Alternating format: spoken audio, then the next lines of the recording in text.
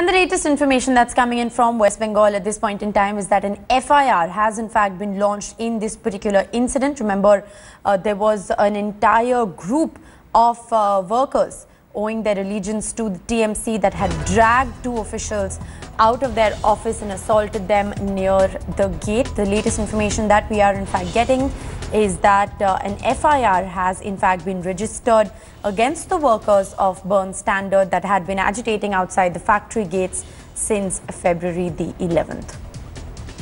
My colleague Indrajit Kundu is now joining me on the phone line with all the details. Indrajit, the latest information coming in is that an FIR has been registered. Take us through the latest.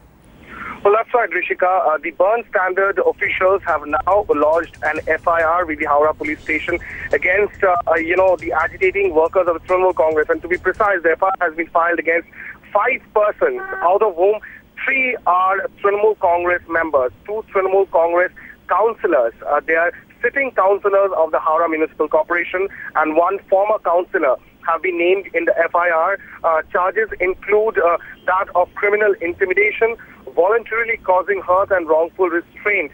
And of the uh, three that have been uh, Trinamool Congress workers that have been named in the FIR, uh, there are two sitting councillors, Gautam Chaudhary and Shamal Mitra, and one former Trinamool Congress councillor, Buddhadev Sarkar. So three Trinamool Congress, uh, you know, leaders have been named in the FIR, uh, which includes five people in total for wrongful restraint and criminal intimidation. It would be interesting to see how the police takes note of uh, this um, FIR and whether there is any action initiated. But Rishika, this does come in the backdrop of uh, another incident that took place right. just two days back at Kalyani University, in which uh, right.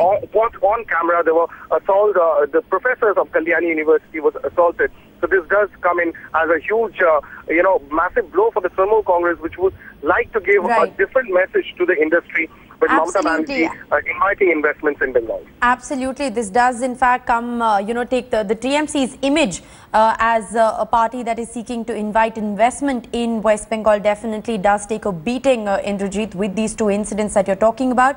Latest information is that an FIR has in fact been launched. Two former TMC councillors have been named in that FIR. Indrajit Kundu is going to continue to track the latest on this story for us.